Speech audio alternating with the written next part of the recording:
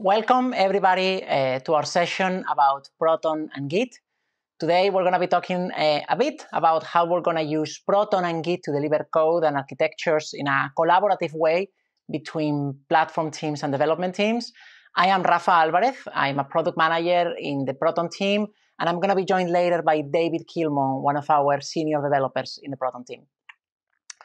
Today we're going to be talking about three things. We're going to start speaking a little bit about what Proton is, why we built it, what is the benefit you can get from it, and we'll go through a handful of use cases of actual customers that have been using Proton. We'll then go over some of the new features we're launching this year that are actually going to help with collaboration, as I said before. And to end, we'll do a bit of a play between David and myself, where we show how life is before and after incorporating Proton into your workflows. So let's get started with why Proton. We launched Proton in preview last year at reInvent, and we went GA just in July of this year. So it's, a, it's an early service. We're still growing. We're still learning a lot from customer, and there is a lot we want to do with it. So we thought it was a good idea to sort of go back to why did we do this? Why did we launch this service? What do we expect that customers will get out of it? And to do that, let's think about the end process, the end result of the development process. Why are we doing all of this? Well, we want to build applications. We want to deliver those. And we want those applications to work. What does work mean? Work means that they have to, for sure, solve a customer problem, meet the need that drove the creation of said application. They have to function with no bugs or maybe few, as few as possible, but definitely makes us feel confident that it's doing what it should be doing. Uh, we want to be performant, meaning we want to make sure that it's not slow, doesn't leave customers waiting, or it doesn't force other components on our value chain to wait. And we want it to be secure. This is obviously critical. We are always going to be looking to make sure that our applications are meeting our standards of security, that our data is safe, our customers' data is safe, and there are a lot of steps that we oftentimes have to take to make sure that happens. And finally, we want to make sure that it makes efficient use of our resources. The promise of the cloud is that you pay for what you need and you are not overpaying for idle resources well, it's part on us to make sure that we are provisioning things right, we're using the right type of infrastructure for the workloads that we're going to be running. So, if this is true across the company, we have oftentimes a division of labor between different teams. And the reason is that we want people to be able to focus on one particular component to drive to this greater good. A very simple distinction in this case is between development and platform teams. So Let's think about development teams. Why am I, what am I worried about as a developer? It's, it's clear, right? I want to make sure that my application does what it should do. I have a customer problem that I need to solve. I have a user story that I need to complete. Is that happening?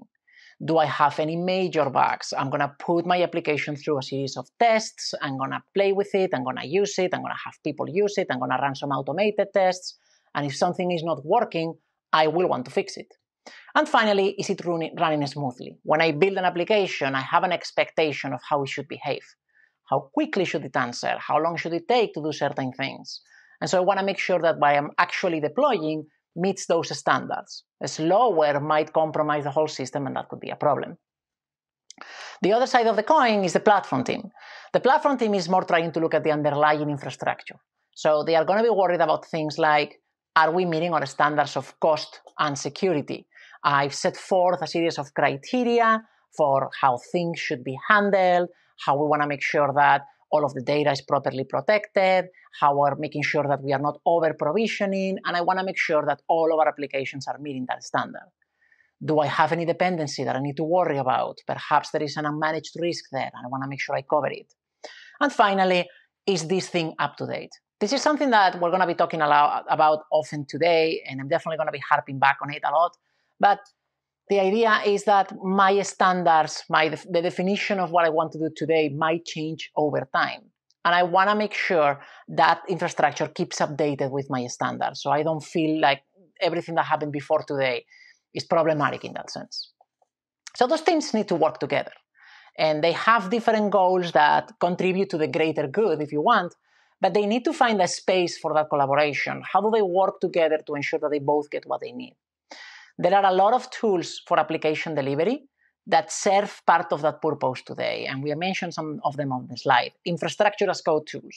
So you can think about AWS CloudFormation or Terraform that allow you to define your application in a way that is repeatable and is easy to track and you can share with others.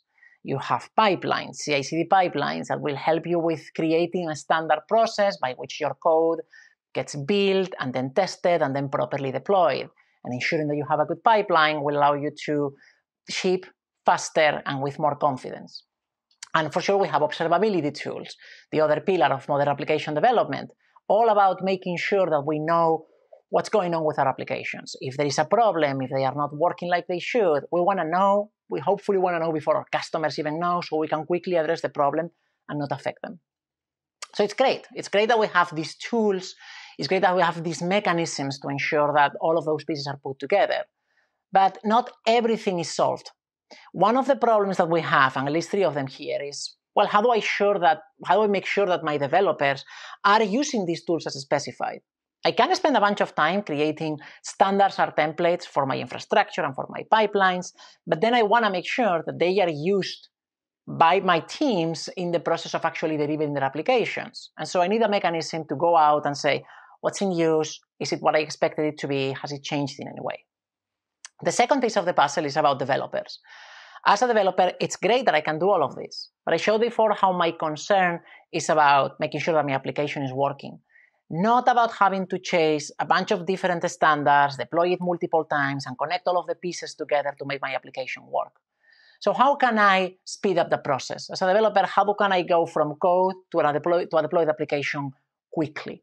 We'll see a bit of this story in our little play later, but it's definitely something that we want to help developers with. And the last piece of the puzzle, and as I said, I will keep insisting on this, is how do we keep this updated? standards are a snapshot in a snapshot in time. I am going to say this is what we need our infrastructure to be today. I'm going to share it with people. But over time, things change. Our company changed. The standards evolve. New features are released, and we want to make sure that what we have is meeting that. So, how do we ensure that my application stays true to what we need it to be now and in the future? Well, our answer to that question is AWS Proton. AWS Proton sits in the middle of those platform teams and development teams, and we want it to be that space for collaboration where both teams can go to have their needs their, me- their needs met in a way that uh, satisfies the needs of both of both sides. Um, a customer told me once that one of the things he really likes about Proton is that it helps this team work together, whether there is good communications w- between them or not. And I think that's part of the piece of the puzzle here. You don't want to have to rely on external factors. So, how is it done in a nutshell? Well, as a platform team, you're gonna go to AWS Proton and you're gonna tell us what your standards are. This is my infrastructure that I wanna use, these are the pipeline tools, and this is how the pipelines are configured, this is my observability. As a developer, you're gonna go to Proton and say, I have my code, I wanna make a deployment. And what Proton will do is work with those tools that we mentioned before, the infrastructure as code, the pipeline, or the observability tools, to make sure that everything is happening as it should. Because Proton is sitting in the middle of this process, it allows both sides to get what they need. It allows the platform teams to know exactly what, what is in use and to keep things updated over time. So it becomes that hub that allows us to work together in that sense. So let's think back about the three problems that I said before and explore how Proton can help me with them. Three key features or three key benefits that we want to talk about. The first one is self-service access to templates. So one of the things I, I say often is that templates oftentimes get a bad rep because, well, aren't they limiting? They aren't. They are a tool for somebody to create those standards that we'll feel comfortable with. I just need a good way to access them and to configure them to my own. Uh, in Proton, you get that as a developer. And even more, as a platform team, you get the capacity to observe how those templates are being used, by whom, and evolve them over time. The second piece of the puzzle, as I mentioned before, was helping developers do all of this in one single interface. Well, that's Proton. In Proton, you can show up, your code is in your repo, and Proton will take care of procuring all of the pieces that you need to get your service from your repo to the different stages in your pipeline to production one interface, you can come in, do your thing, and then go back to working and improving the code. And finally, it's a tool to keep infrastructure updated. So because, well, like I said, Proton is sitting in the middle of that process, platform teams can always go back to Proton, see if something has changed, see if their existing deployments are need to be evolved in any way, and Proton will help them move things forward. So in that sense, we are orchestrating all of those tools together to make sure that developers have a smooth, streamlined experience and platform teams have the capacity to manage things that they are looking for. So this is a bit high level. Let's talk a little about the customer use cases. We have three use cases that we're going to be talking about today that uh, represent slightly different problems that customers can be facing and having working on using Proton. The first one is about keeping infrastructure updated. So this customer is a small, uh, relatively small startup in, in the US in the financial field. It has a very small platform team, literally just one person. They are moving very fast though. They are oftentimes changing things and trying new stuff and updating how they configure their infrastructure. And so this team was using a lot of broad API calls and CloudFormation itself to update their infrastructure, create new ECS cluster and new CS tasks. And it was starting to become a struggle for this one person team to stay on top of everything. Teams were moving fast, they were deploying new things, the platform team itself was trying new stuff and keeping everything updated, and it was becoming a problem to make sure that all the deployments stayed up to date. There was a wide proliferation of infrastructure. So along comes Proton, and this team is able to create templates in Proton team can, teams can use over and over to deploy their stuff. Now developers go to Proton to get their application deployed, and the platform team itself goes to Proton to push updates. Through this central tool, we can now see all of my services in their stages. I can see if they are updated or not, uh, and I can be confident that they are carrying along as I move. This customer has several uh, of their te- Proton templates in versions 10, 15, because they are embracing that idea of changing things fast and moving forward. The second use case is about helping developers. This is a customer in Japan. It's a slightly larger platform team. They have three people. But the platform team was sort of struggling with a similar problem, which is they were not, they didn't have the capacity to support all their development teams. They were working with a large group of developers who were maybe not experts in cloud infrastructure and CloudFormation, and a small subset that knew well what they were doing. This team found itself having to often hire contractors or additional help to assist some of the teams because as they were growing very fast, they didn't have a mechanism to keep things in check. With Proton, they've been able to create templates that can share with all of those teams. They multiply the value of what they do. They can assist many more teams at the same time. And they are also working to make sure that the developers that have good knowledge of cloud infrastructure and that are able to work well with CloudFormation, they have exposure to the underlying infrastructure itself and they can comment, make changes, and suggest. David will talk you through one of the key features that we're announcing today that is actually going to be super beneficial to this customer because it will empower that collaboration one level further. And then the final use case is about moving workloads to the cloud. So the, the customer here is a large financial institution. They have a lot of development teams that have been working on premise, oftentimes in monolithic applications, and they are ready to move to containers on AWS. And they want to provide those developers in their teams with the capacity to move their workloads in a way that is self-managed, that doesn't require a lot of attention from the platform team, but that allows them to benefit from everything the cloud has to offer. They've put together a actually very smart set of templates that are broken down into multiple layers. And so each development team is able to go to Proton, get one of those templates, and start migrating their application. And they work on it layer by layer. Let me sure that the compute works, and then I move on to my networking, and then I move on to my observability. What this allows to do is that each development team can migrate to the cloud at the right pace for them, and the platform team still has one central location where they can tell where everybody is, if anybody needs help, or if any changes need to be made. So that's very exciting. This is an ongoing process, as you can imagine. So to close out, before we, we get to the fun part about the new features, I wanted to talk a little bit about how do you want to adopt Proton. A, a, service like Proton requires a bit of thinking to adopt, right? You're going to be defining your infrastructure. You might have to make some changes in the way you do things. And over the past few months, as we talk to customers, we've been trying to identify what are the commonalities of the success use cases. How do you get to a good place when you don't hit too many bumps on the road? And so the most important uh, uh, advice that I have here is think about starting small. Uh, like I said, you have to create those templates. You have to share them with your development teams. And you want to make sure that your developers are adopting and you're making changes as you go. Pick one, two, three types of use cases. In this particular screen, we have a ton of microservices. We're just selecting two. Pick a handful of them and make sure that you drive the common infrastructure and you create templates for them and you start using those. It allows you to figure out what do you want in your templates, what parameters, what level of customization.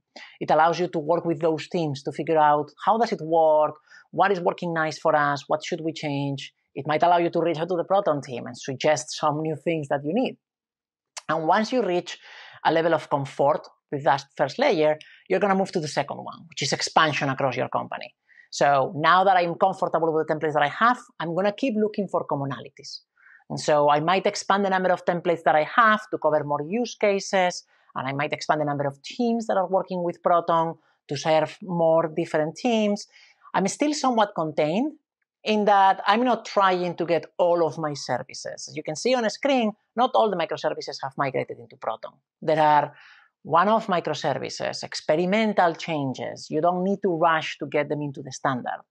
But by allowing yourself to focus on the 70, 80% eh, of the of services that have relatively common infrastructure, you give yourself capacity to personalize the attention that the other ones get. And eventually they can migrate into the platform. And so through that iterative process, you can reach to a level of comfort where the majority of your service are managed through Proton, you know exactly what you need, and your developers are comfortable. And then from there, you're going to keep growing. I will say that as anybody listening goes through this process, um, if there are questions or suggestions, you should feel free to reach out to us. Proton is a new service. We're learning from customers a lot as we go, and we're always looking for opportunities to figure out how to work better and how to better serve uh, the needs of our customers. So, with that said, let's talk about the new features and specifically new features around the area of collaboration. I'm going to invite David to join me right now, and he's going to be talking to you a little bit about uh, Proton and Git and some of the stuff that we're putting together. Sweet. Okay. Thank you, Rafa. That was delightful as always. Um, howdy, y'all. My name is David, and I am a senior developer on the AWS Proton team. And one of my favorite things about Proton is that at the core of it, it really is a tool about collaboration. Just like Rafa was saying earlier about helping developers and platform teams collaborate together. So I am really excited to talk to you today about a few features that we have been working on to help supercharge collaboration. Um, but before we do that, I actually want to talk a little bit about me. Um, and I want to tell you a little bit about what collaboration means to me. So, as I mentioned a second ago, I am a developer, and as many other developers would probably agree, when you say, what do you use to collaborate? What kind of tooling do you use? Without even a single synapse firing, without even a single thought, you'll probably say Git, right? Git has been with us for years and years and years. I know at least for my entire professional career, we have used Git, except for this one kind of awkward time where we used some other SVN tool, which was fine. Um, but Git has been around forever, uh, it seems, and developers have taken it uh, into the core of almost all of their workflows. And that's that's super awesome, and I'm super excited about that. And I love Git personally. But what excites me even more than you know developers using Git all the time and having a great time is that Git has kind of evolved into a tool that other fields are also using, right? So at AWS, for example, our documentation teams all use Git to manage their documentation. And this works super well because there's such an overlap between sort of technical and documentation work that needs to happen. So when the tech teams or the development teams are writing new features, you know, our our documentation teams will uh, create a commit to their Git repository saying, hey, this is you know how we understand this feature. Does this look good to you? And development teams are like, yep, this makes total sense. You're really good at writing stuff. Um, and so it works super well to collaborate even across fields. and this this pattern has continued in sort of every aspect of technical life at Amazon and AWS. Our translators, our our um, sort of configuration folks, our our really in the weeds engineers, um, our UI folks, like everyone, no matter what their job family is, uses Git to collaborate, which is super cool. Like at this point, it just become the standard for collaboration. But you have to kind of wonder why. What what makes Git so special? Why has it become this tool that has become the standard for collaboration? It certainly isn't the CLI, um, and while I love the CLI, I don't think anyone would say that the Git CLI has a delightful developer experience. It's good, it's great, and there's lots of tools out there to make it better. But there's a lot of other things that have made it become this standard for collaboration. So I just want to talk about a few of the things that I think make Git so special and such a powerful tool for collaboration. The first, ironically, isn't really a feature of Git itself, but of the Git platforms that exist out there. The GitHubs, the GitLabs, the Bitbuckets, the CodeCommits, and that's pull requests.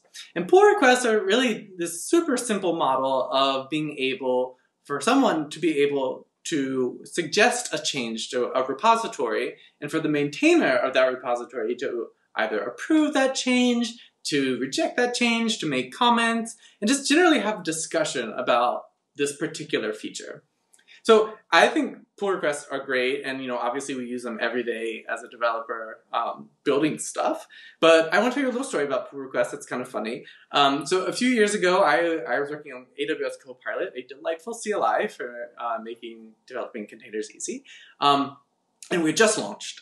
And you know, I, I had written a lot of the documentation myself, and just you know, a day after we launched, we kept seeing all of these pull requests coming into our repository.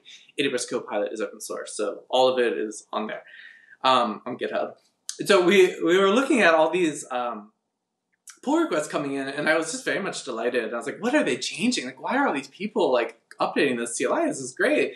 And al- almost all of them were just pull requests fixing my spelling mistakes in our documentation.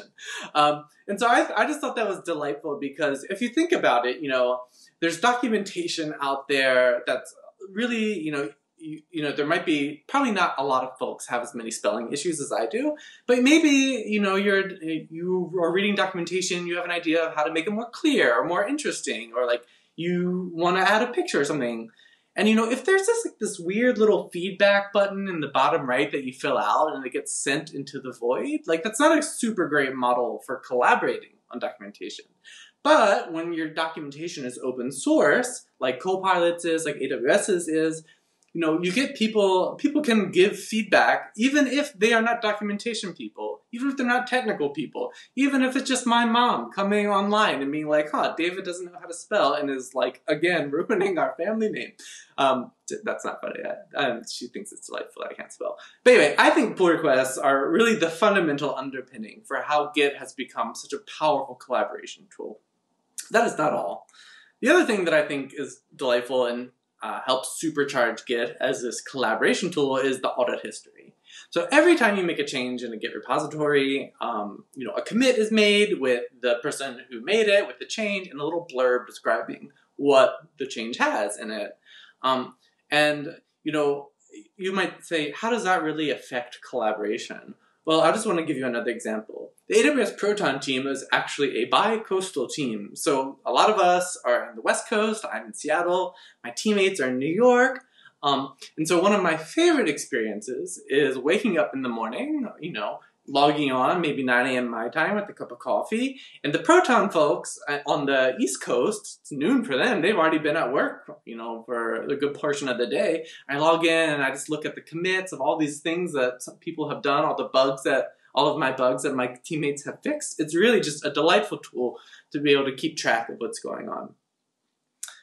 Beyond just this audit history and pull requests, the thing that makes Git so special, in my opinion, is just the wealth of tooling that has evolved around it. I love the like creativity people have around um, building tools that are uh, integrated with Git. I mean, you have Slack bots, which would tell you that like a pull request is merged. You have all sorts of like bots or uh, uh, notification thingies. There's just like a ton of really cool things built around Git that make it a super pleasant experience. Oh, and like I was talking about the CLI earlier and how maybe it's not the best CLI in the entire world. Well, there's tons of tooling out there that provide a really good developer experience centered around Git. So these three things make Git a really pleasant and powerful tool to collaborate with. So maybe you're asking, hey David, why is everyone not using Git for everything if it's so great? That's a really good question. Maybe they should. Um, there's this new trend in our industry that I think has so much potential and I'm really excited about called GitOps. And the idea around GitOps is that, you know, everything that has to do with your application runtime is uh, authored and managed in Git.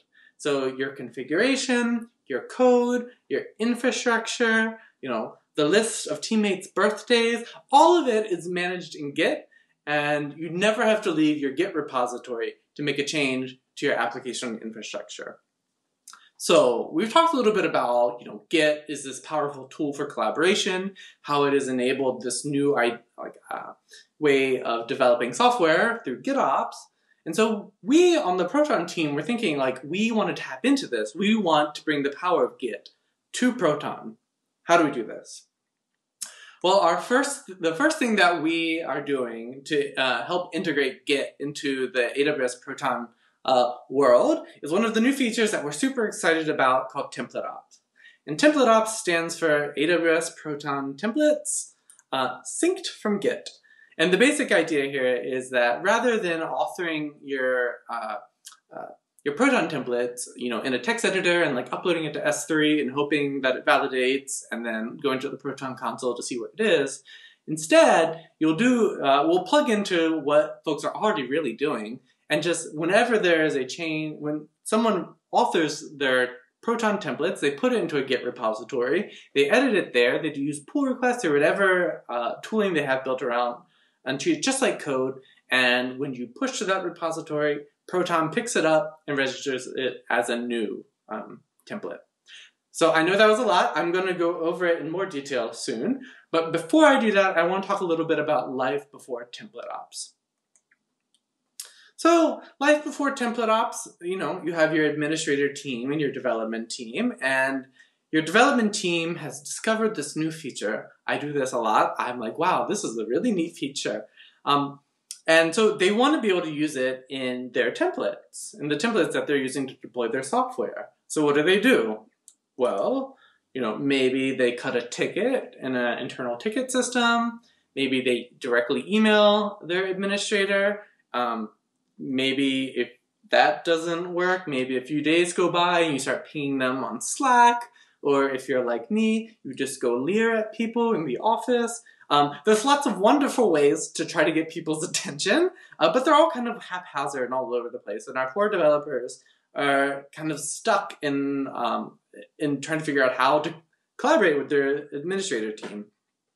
And it's not great for the administrator team either. So once they are like kind of pinged and made aware of this change, they have to find where they stored this template on their laptop. Maybe they didn't store it in a laptop. Maybe they're storing it in Git. Maybe they're not. Um, they have to actually take the change that the uh, developer suggested and validate it and incorporate it in existing templates. You know, like if you're sending it over email, who knows what your email client has done with like the code that the developer has sent or like the configuration. So it's it's a lot of work.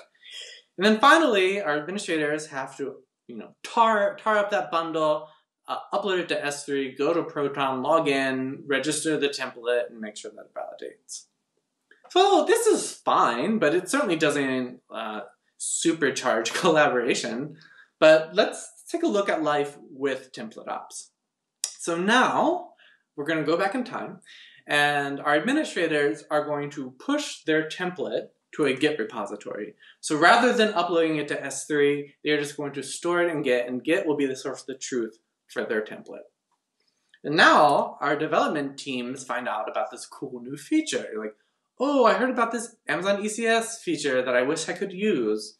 And rather than having to like beg the administrator team to incorporate it into their template, Since the template is authored in Git, I mean, uh, mastered in this Git repository, they can just go to the repository itself and they can propose the change.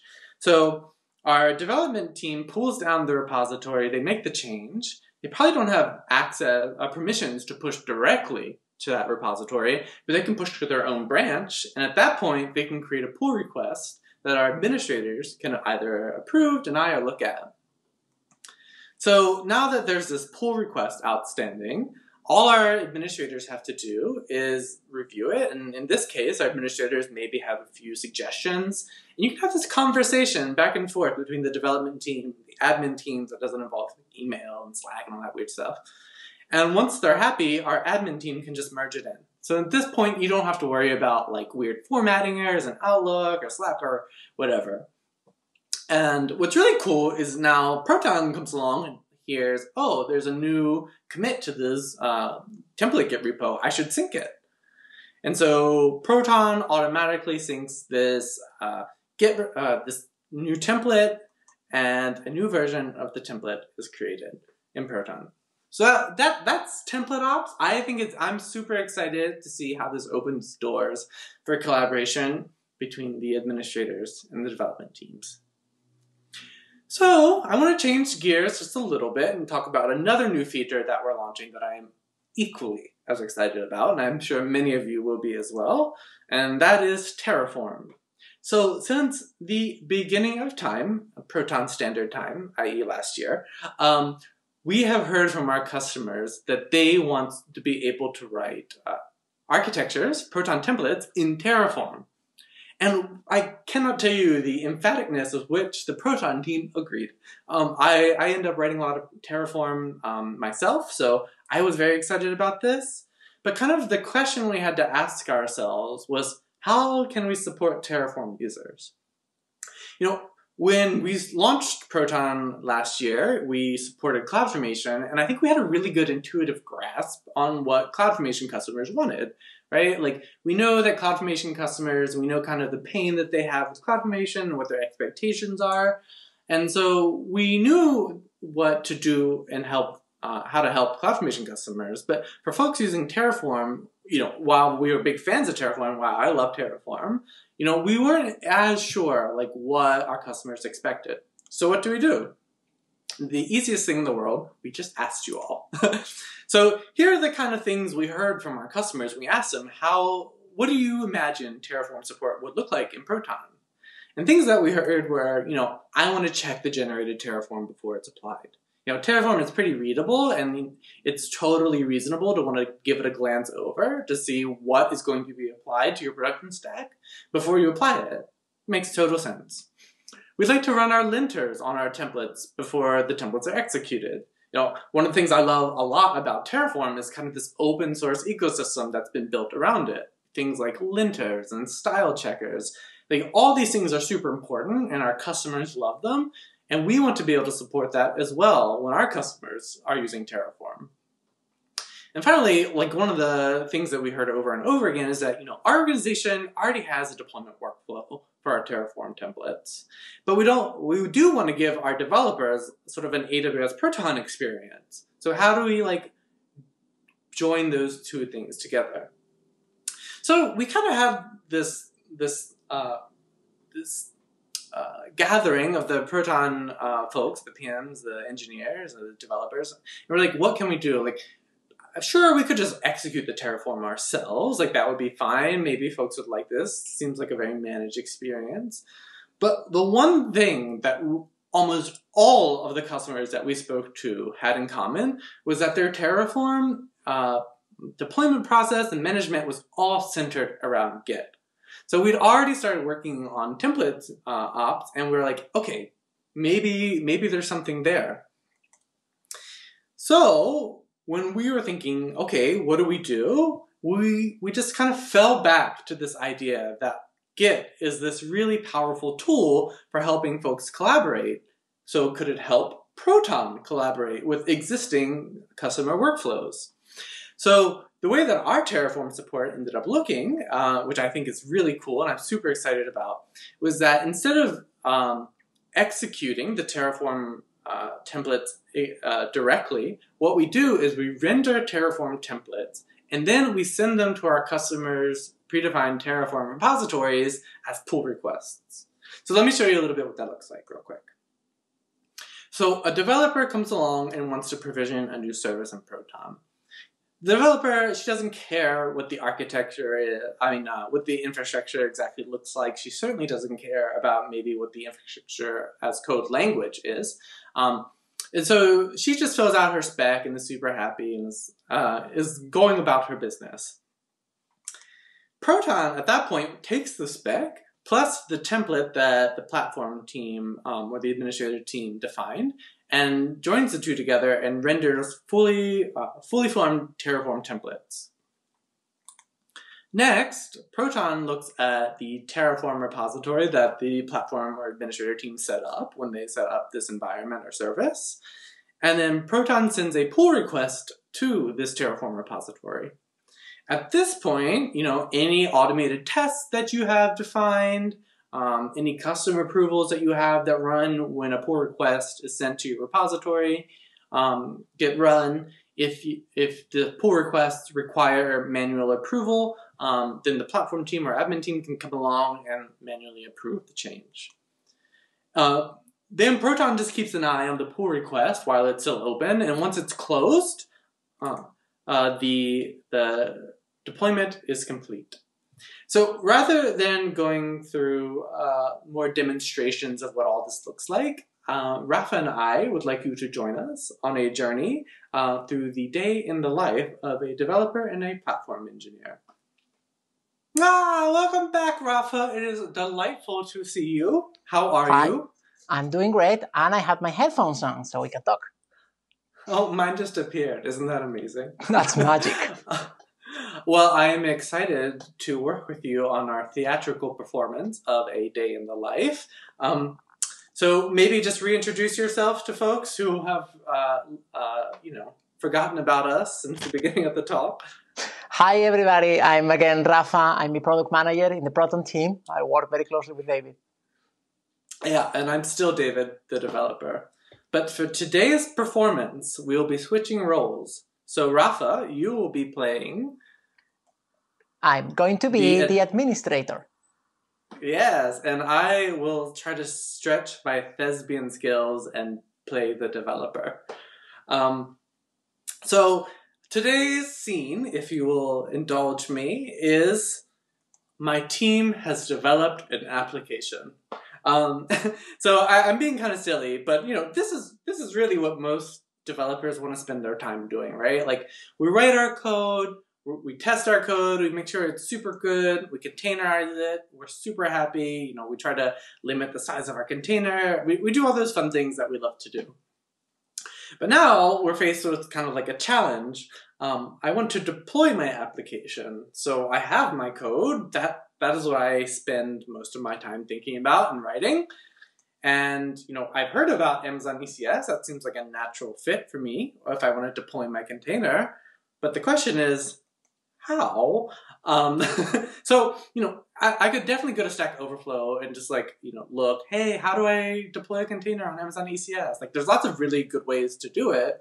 But you know, Rafa is my uh, my platform team, my administrator, and I don't want to just deploy some random thing. So I'm going to go ask him for maybe uh, you know a CloudFormation script or something that he can give me that is like totally vetted and totally good and ready to be deployed. So uh, Rafa, do you happen to have like a service template or something that I can use to deploy my uh, container to ECS? So this is exciting. I do. Uh, I've been working on one. We have this nice template. Uh, it has all of the components that we need. It has the right infrastructure, the right controls. So this is this is the right technology to use. Uh, just go ahead, David. Sweet, Rafa, that's delightful. Thank you for saving me all the time in the world that would take me to write a CloudFormation template. I appreciate it. Um, just for my own edification, let's just take a look inside.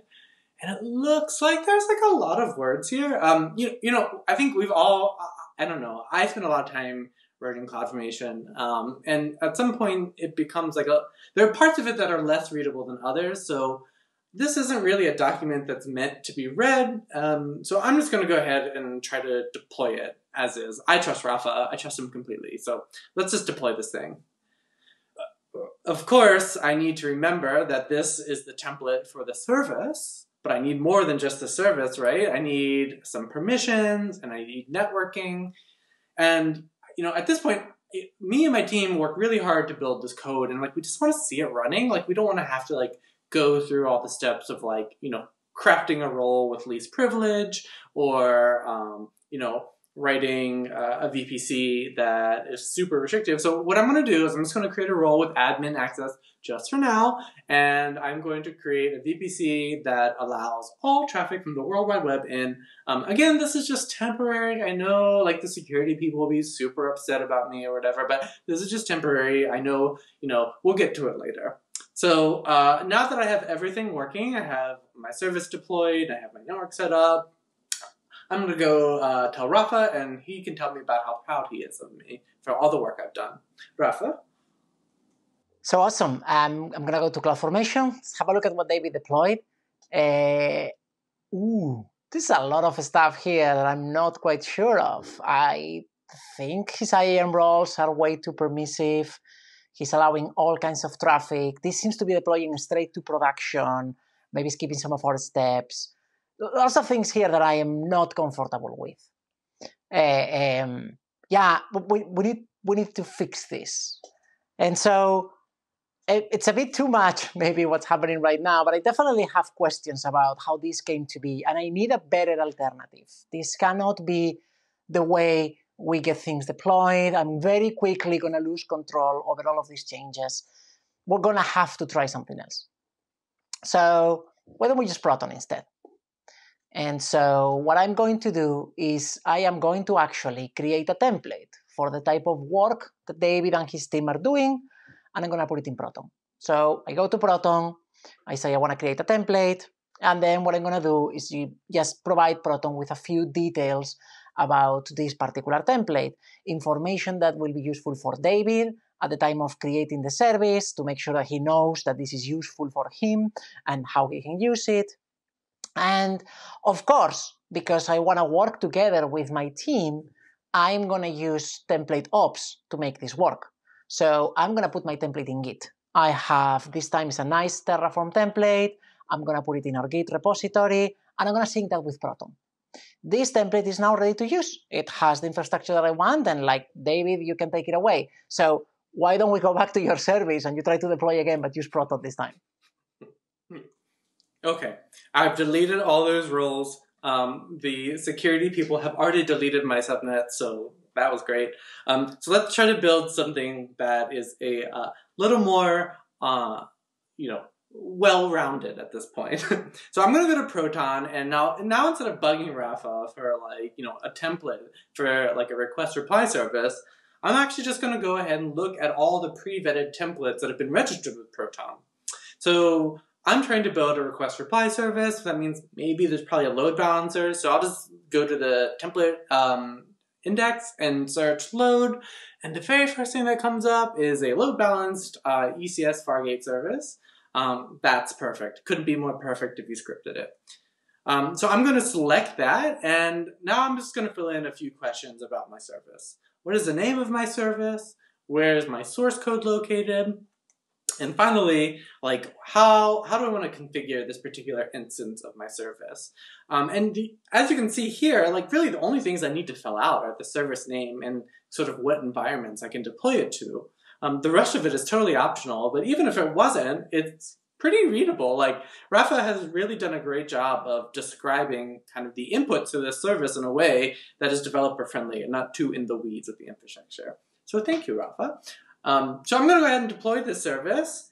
And, you know, great. I'm done. I'm happy. My service is deployed and I didn't have to touch any CloudFormation.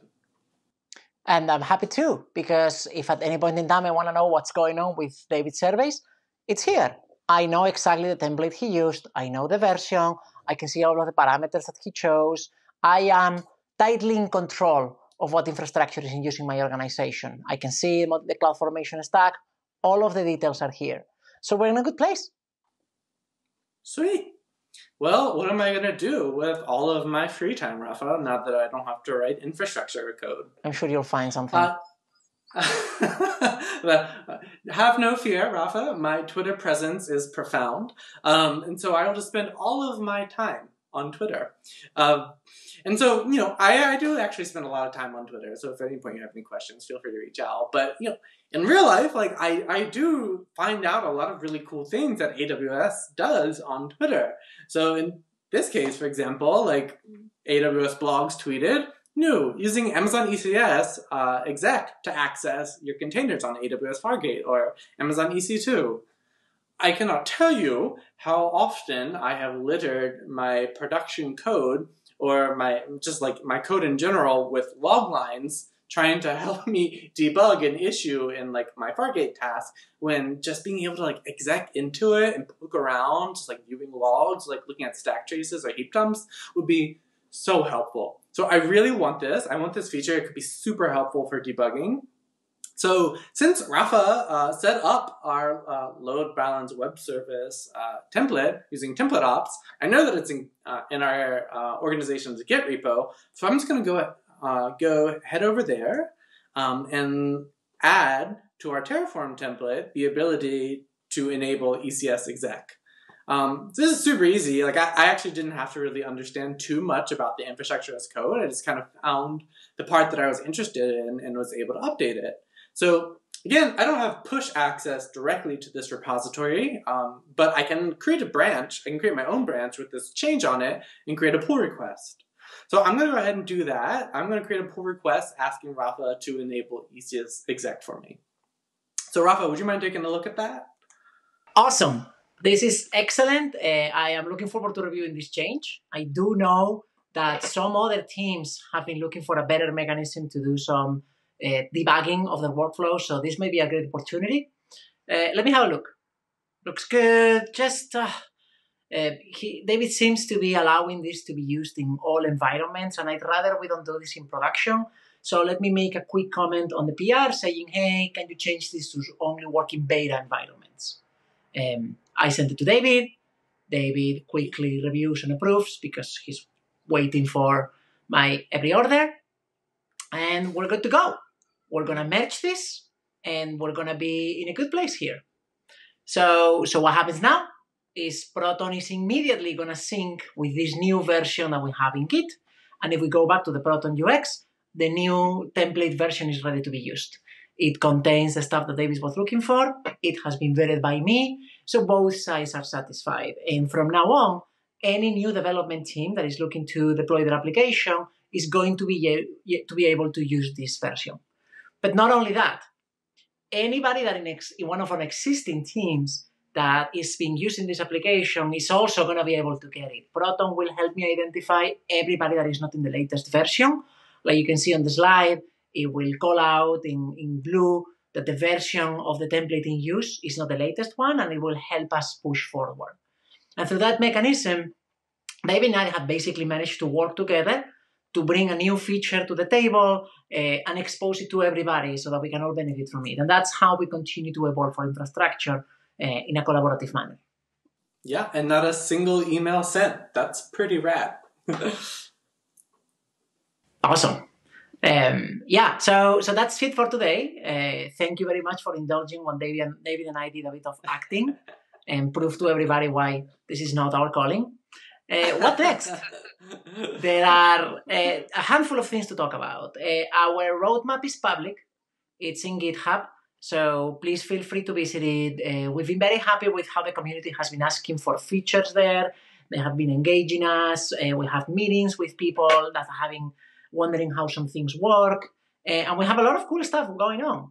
Um, David meant it when he said that we believe that Git is the future for this collaboration. So we have lots of additional Git features that we're going to be working on. We have new ways to make deployments, new types of tools to work with. I'm sure somebody's thinking when they are going to support CDK. CDK is definitely in the roadmap and it's high on our priority list. Uh, so please feel free to come and tell us uh, what you're looking for. Uh, also, feel free to, of course, try the service. We have a GitHub repository with some, some sample templates they are useful to see how it works, how they are constructed, and you can immediately also deploy them and start to use them. They are well vetted templates, so they might be useful for you to start thinking about what's your process. And finally, uh, start going on with your uh, proof of concept. Uh, in, earlier in my part, I said that as you worked on this, the, the Proton team was uh, ready to listen. In AWS, we pride ourselves in being customer centric and working with customers as much as we can. Uh, and we are no different in that sense. We are really looking forward to feedback and comments on how we can make the service better. And that's all for today. Thank you very much, everybody. Uh, you have our Twitter handles there. We are both trying to act, be active on Twitter while we do our day jobs. So we're also happy to discuss Proton infrastructure or development experience in there. Thank you so much. Yeah, thank you so much.